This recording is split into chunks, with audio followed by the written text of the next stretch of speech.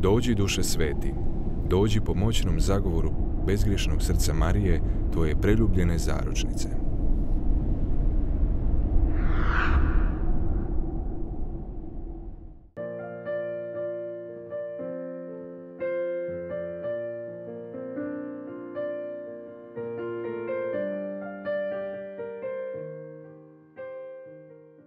Iz Evanđelja po Marku. U ono vrijeme, pošto Isus i učenici doploviše na kraj, dođu u Genezaret i pristanu. Kad iziđu iz lađe, ljudi odmah prepoznaju Isusa, pa oblete sav onaj kraj. I počnu donositi na nosilima bolesnike onamo gdje bi čuli da se on nalazi.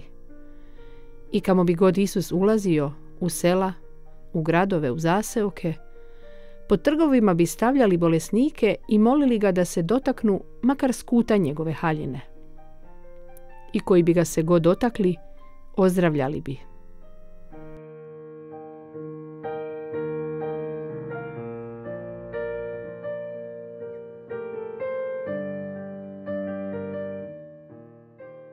Hvaljen Isus i Marija, dragi podsmokvaši.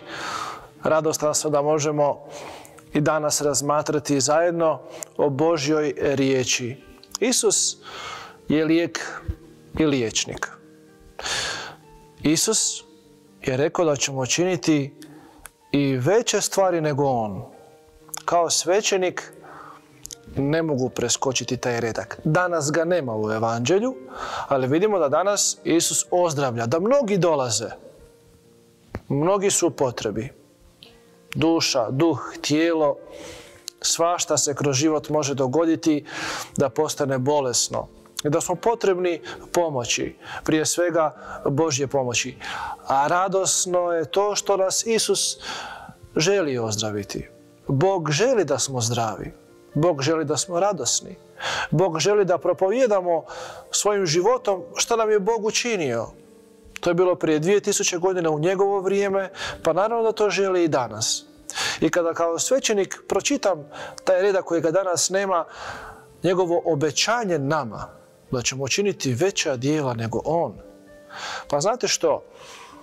Moram biti toliko slobodan s njime i u svojoj vjeri da zaista povjerujem što, što on hoće da ja radim.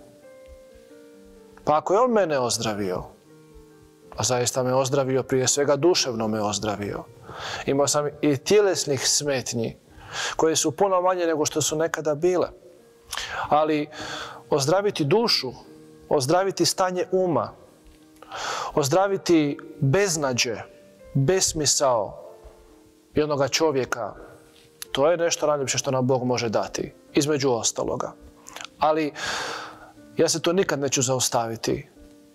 Čovjek, odnosno, točno, čovjek koji se prepusti gospodinu.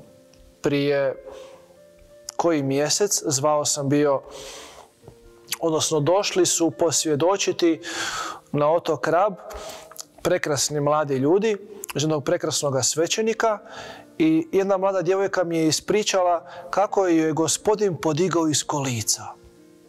Zamisli to. Čini mi se 2020. godine. Ne prije 100 godina, ne prije 50.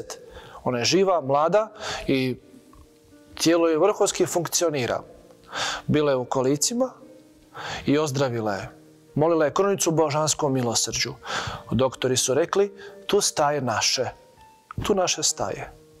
I znate, kada sam doveo bio krizmanike i roditelje da čuju da Bog ozdravlja i danas, da je Bog živ, da vidite kako drugačije slušaju, kako drugačije gledaju i kako to ostaje u njima.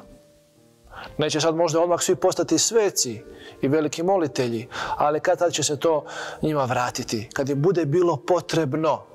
A Bog najčešće djeluje kada je nama najteže. Zato govorite drugima, zovite drugi da svjedoče, svjedočite vi drugima, Budite zaista oni koji vjeruju da Bog može sve učiniti sada i u vašemu životu. Nemojte misliti da ne može ili da vas želi pustiti da ne znam koliko dugo patite. Vi možete prihvatiti neku vrstu patnje i to je dobro da prihvatite i da ju gospodinu prikažete. Ali vjerujte mi da se gospodin želi proslaviti i kroz fizičko ozdravljenje, ali svakako i kroz duhovno i unutarnje oslobođenje od bilo kakve vrste zla i bolesti. Vjerujemo u to i neka se Bog proslavlja u našim životima. Bog vas blagoslovio.